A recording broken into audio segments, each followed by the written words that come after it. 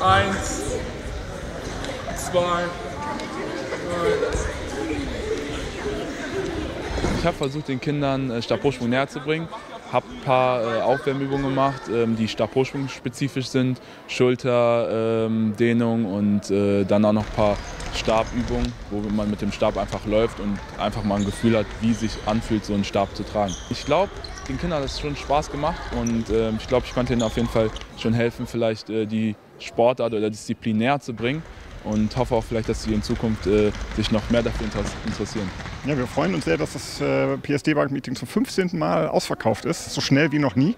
Äh, das zeigt, glaube ich, den hohen Stellenwert und die Sportbegeisterung hier in Düsseldorf. Also das PSD-Bank-Meeting war schon immer ein besonderes Highlight äh, in der Hallensaison. Ich wollte schon immer da starten. Vor zwei Jahren habe ich das erste Mal da teilgenommen.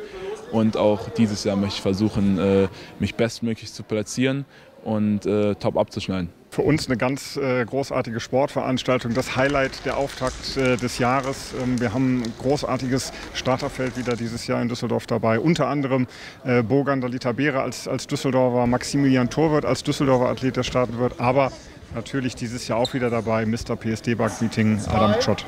Drei. Yeah! Prima.